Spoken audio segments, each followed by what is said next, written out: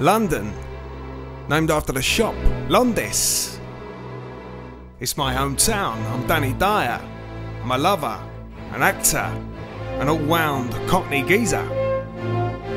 Last year, I went round the country meeting Britain's hardest football hooligans. And he's that hard, he beats himself up. That's double nasty, rude. You know I got to go out here. And this year, I got cancelled.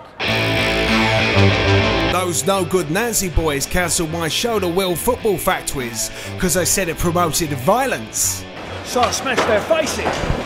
Which means I've had to move out of my posh pad that I share with my pal, Tawa Masalata, and I've had to move back in with Ma, which is minging. But that's not the last you'll see of old DD, because Virgin Media have offered me a multi pound contract. To make a story of my life, you'll be finding out how this East End peasant ended up making films like The Muckney Bellwiths, which was a film about smashing things up, where I starred as Tommy Tit. You'll find out about my charity work, my time on TV, and me trying to get back to the big time. So watch me this season on Virgin Media Sport.